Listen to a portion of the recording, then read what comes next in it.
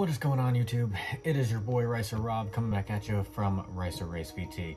So uh, today I have the Skyline still behind me. Um, a couple things I did do off camera was, uh, let's see, the oil change. I did my outer tie rod, got that from GK Tech.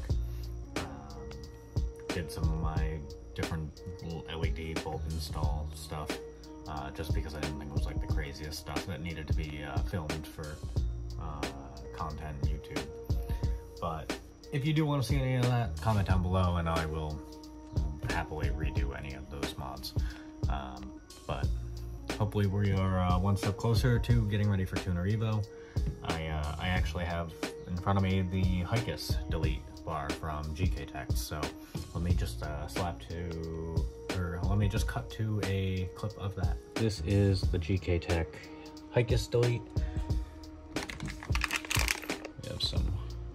bolts, nuts, washers. These are the caps for the uh, the lines. And then these are some uh, washers that have little, um, actually they don't. Anyway, these are little washers to go on the back side of the bar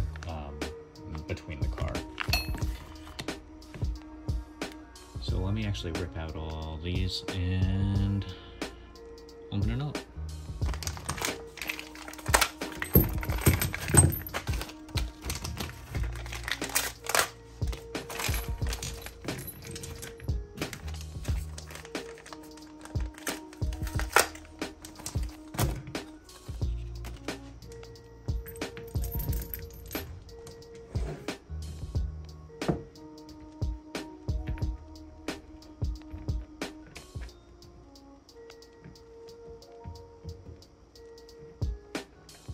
For this one, I did do a little bit of research um, beforehand. I believe the only tools I'm gonna need are 17, 19 um, in sockets and uh, wrench. And that'll be to unbolt these. I'm not actually sure what size for the uh, inner hardware stuff, but. All right, so I'm underneath the Skyline right now. As you can see, it does have the HICAS system still installed. This is just kind of like a little before.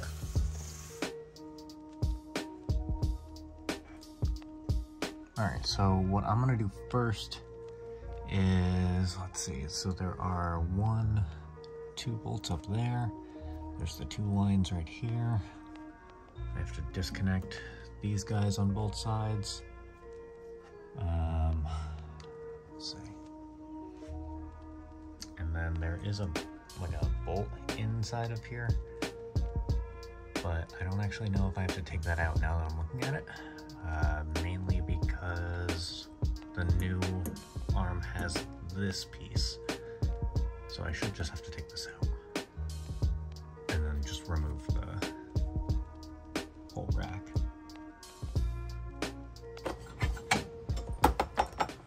So these are 19s.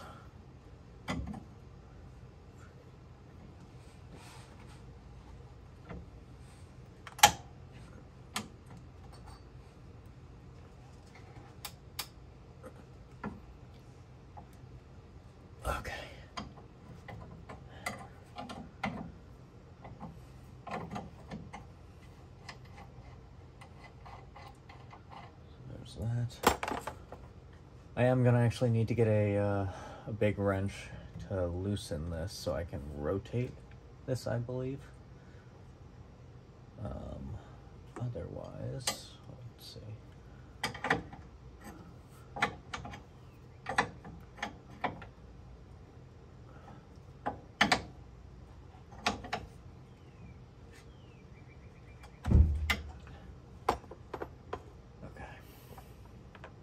Well, one nut's off. I, uh, I think this was actually supposed to be 180 degrees around so that you could take the, the bolt out. But I'm gonna get a crescent wrench and be right back. All right, we're back. Got my crescent wrench. I can loosen this nut.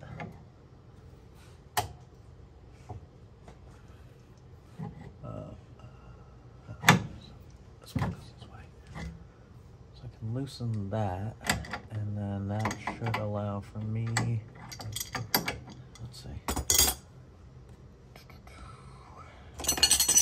I grabbed a 21 and a 22. I don't know if it's the right size for any of this, but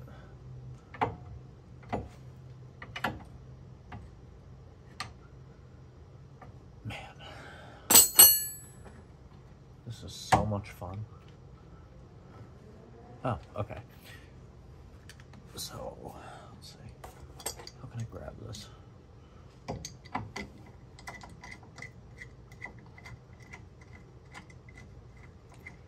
gonna try and rotate this fork down so I can remove the bolt. Uh, let me grab a Allen. All right, let's try this eight millimeter Allen.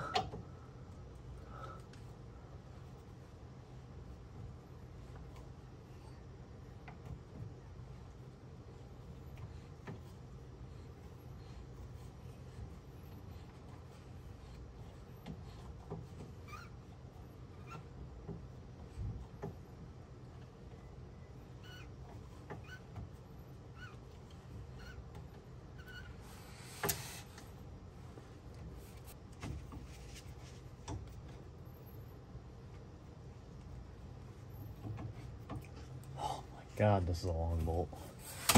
Ah, okay.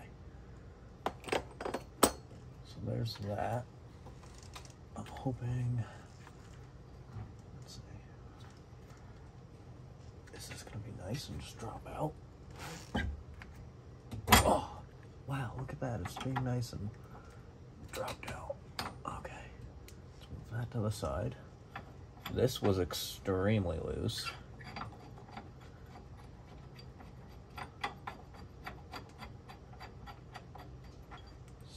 We're just going to take that out. Cool. Um,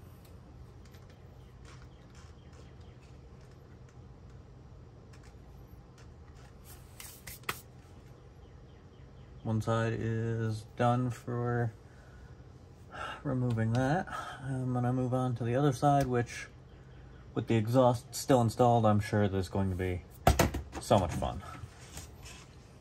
Hopefully guys, you, hopefully you guys can see, but I'm gonna try and work around this exhaust to get this guy off. All right, um, let's see.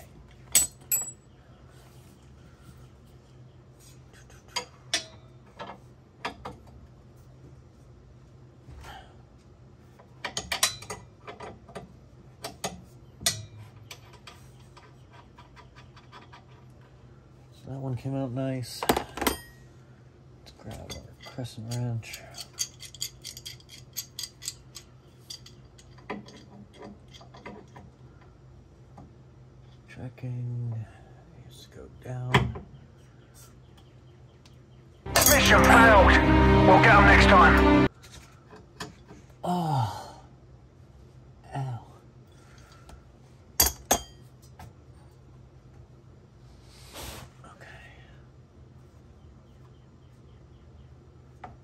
So I'm gonna try and spin it again.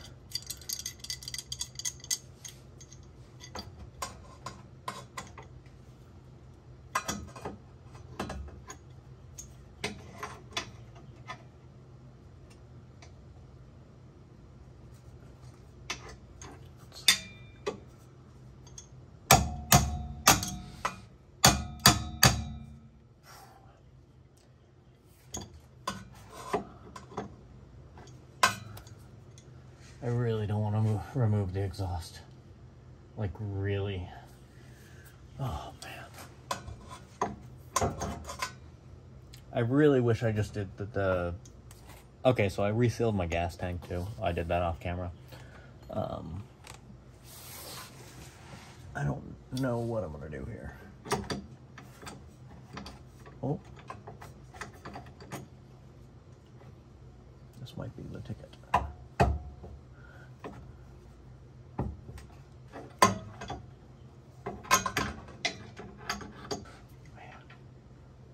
I'm sure the exhaust isn't even hard to drop. I just really don't want to do it.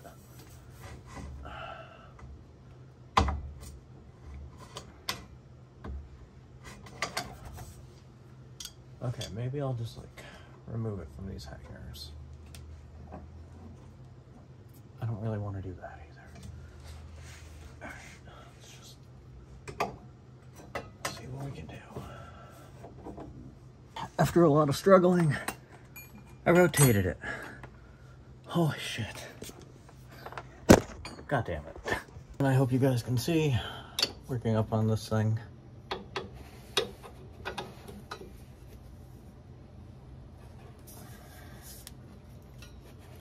Just trying to remove this stupid long bolt.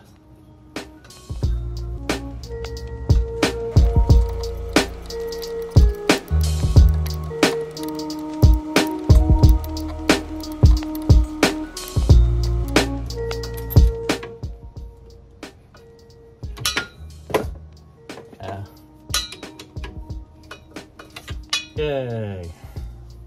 Victory. Alright. So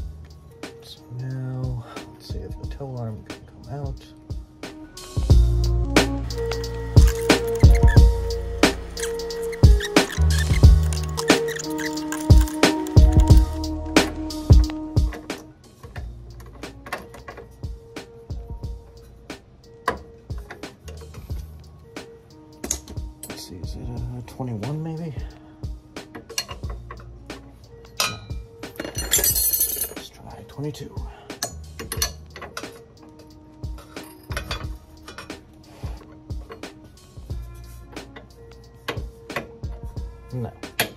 Alright, it's actually a 24.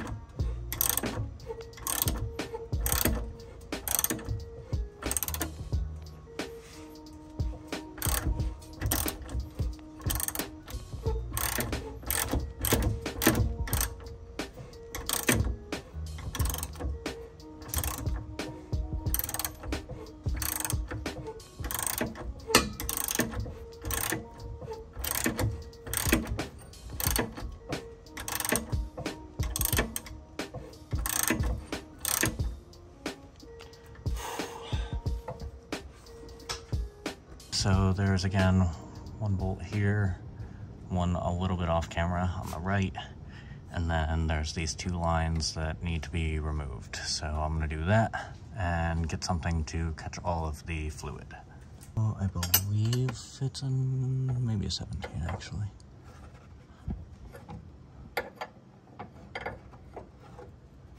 Oh yeah, 17. Let's see if I can.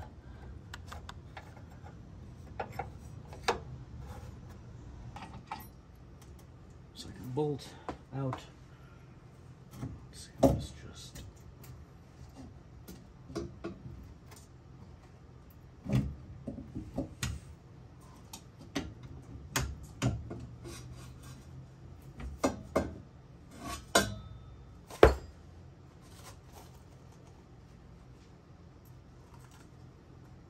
Okay. All right, we disconnected these guys. So they're just kind of dripping. So that's where those little plugs will go, and then uh, the I guess delete bar goes up there as well. These guys. Just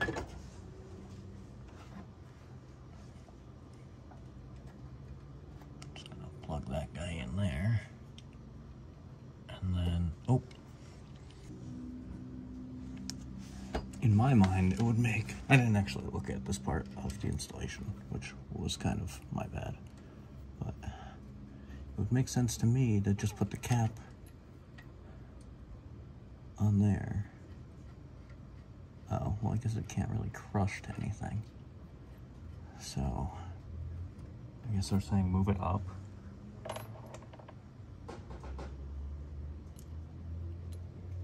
And add the cylinder. But again, I don't really see how that works. With a gasket on top.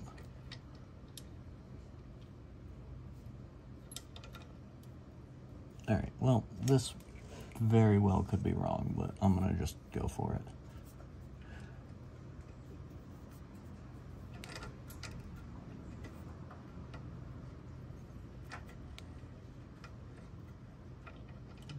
Yeah, this oh, doesn't make sense.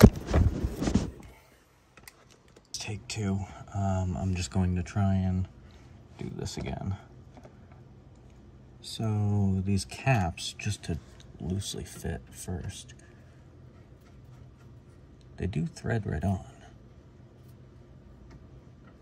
But they won't collapse against anything, so I guess it would be putting this like this, like this, like this.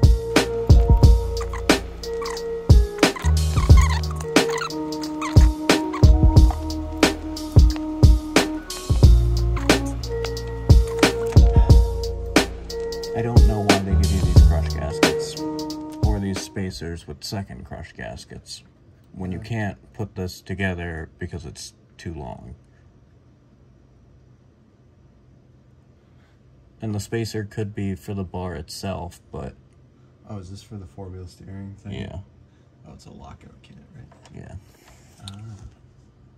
I just did another round of research. The crush gaskets, I don't know again why they're supplied. Um, every install I'm seeing no one's using them. The black spacer does go behind for the um, bar to mount to. And yeah, I really, I just don't understand why they gave me the crush gasket. But I'm actually gonna remove it just because, again, I don't get it.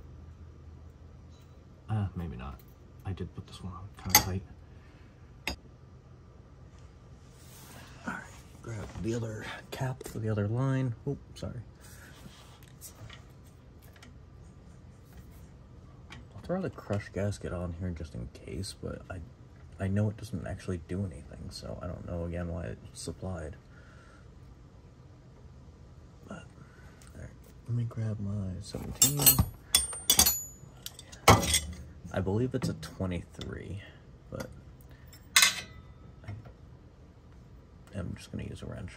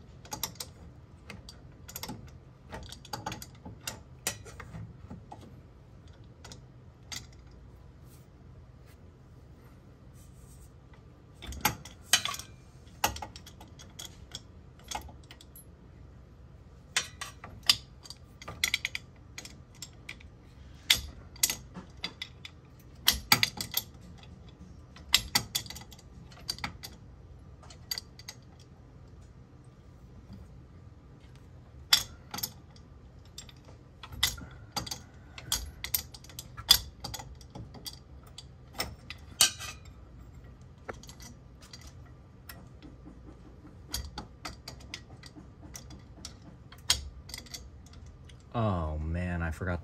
That would seem pretty logical. I'm going to try and not remove it.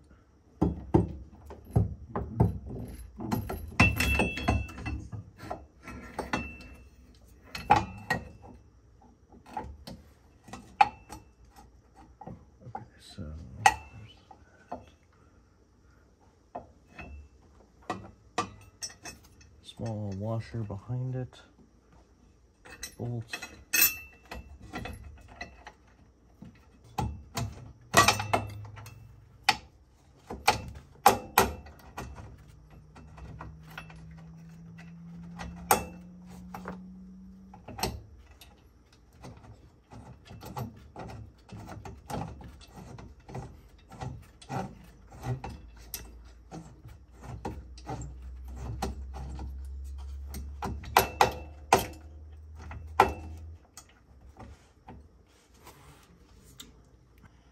All right, the bar is mounted, caps are on there. I uh, started messing with this. Uh, let's see, I grabbed my bolt. Let's see.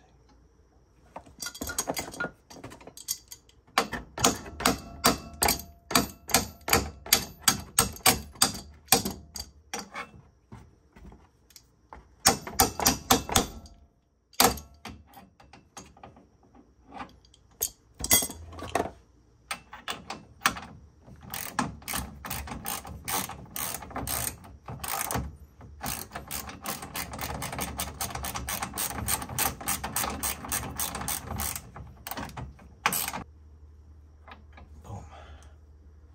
I guess I'll get one more just in case.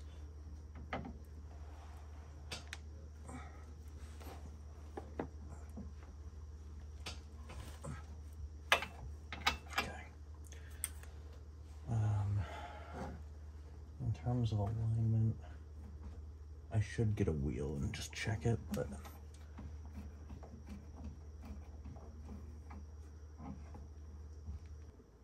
All right, on to side two.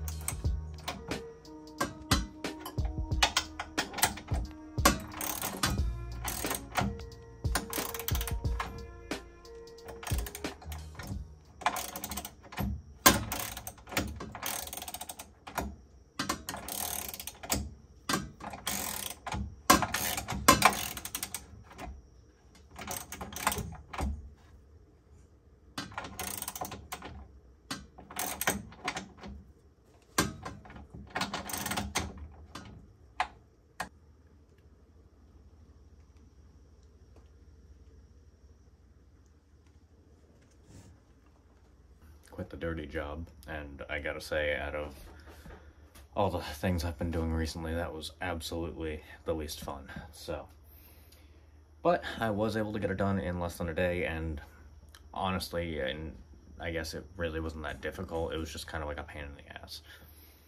Uh, but if you want to pick up one for yourself, I will absolutely put a link in the description below.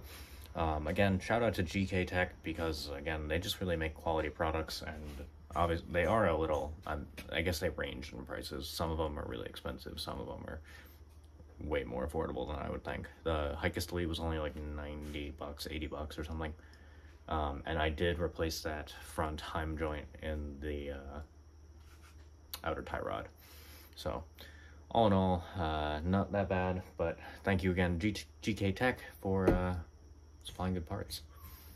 So I'm gonna go uh, kind of clean things up now and uh, try and figure out when I'm gonna do those tires. I think uh, Demir E30 VT is gonna help me um, get those swapped out. So I just got some 205 45 17s for the 17 inch RSs, uh, going from a 205 40 17 and a 215 45. So a little bit taller of a sidewall in the front and then a smaller narrower tire in the rear. Um, FRS Patty got back to me about my my uh, busted low glow side strip, um, so that comes in tomorrow, and then he's gonna overnight that to me, so I should see that Thursday. Cutting close, but hopefully we are good for Tuner Evo. Um, but again, thank you guys so much for watching. If you haven't already, be sure to subscribe and uh, don't forget to like and drop a comment below on uh, you know what your thoughts are on GK Tech and um, Elite and I don't know. Pick up uh, some new merch, upstairs customs. But no, thank you guys so much for watching. We'll see you in the next one. Bye.